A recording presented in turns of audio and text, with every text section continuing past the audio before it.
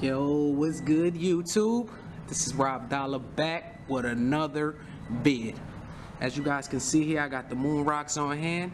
Now, before I get into this video, make sure you guys hit that thumbs up, say yo dollars, we love what you're doing. Make sure if you guys are new to the channel that you guys subscribe.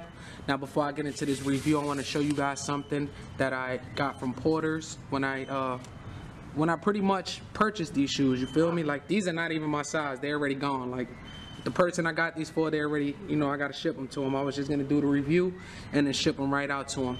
But before I get into that, I just want to want you guys to see what I got from Mr. Porter's. You feel me?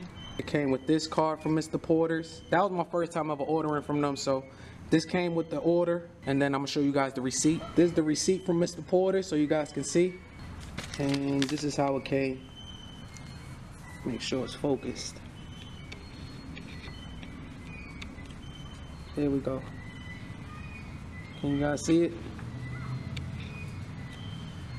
I only paid $200. That was shipping included, like just straight $200 flat. Okay, now it's back to the review.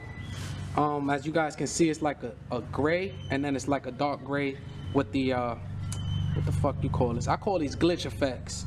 With the glitch effects, you can see that is a dark gray on the glitch effects on the Yeezys. As you guys can see underneath, it's just the traditional boost boost effect right there gray color you know what i'm saying? Comment down below let me know how you feel about these.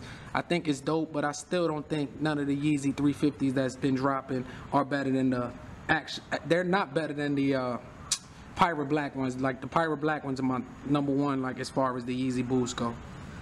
This is the medial side of the left shoe. As you guys can see it got the adidas branding on it right here and you know got that good suede on it this is the right shoe with the YZY on the side of it.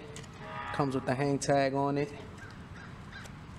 Comment down below. Let me know how you feel about these. This is the back. Usually the Yeezy Boost come with this red right here. Like the Gucci type stuff. But this one didn't. It comes with actually a darker gray than the actual pull tab. Like I said, comment down below. Let me know how you feel about these. Were you guys able to purchase these? These were pretty limited compared to the other Yeezys that been dropping. I don't know, man. You know, Yeezy Boost is Yeezy Boost. You know what I'm saying? Not my style. I like the uh, I like the 750s though. I'm, I'm a big fan of the 750s. I will be trying to cop the black ones. I believe black ones are dropping on December 5th. And there's also rumors that they're supposed to be dropping the Yeezy every month from November all the way to April 2016. If you guys heard anything about that, comment down below. Let me know. This is Rob Dolla. I'm getting out of here, y'all. Peace.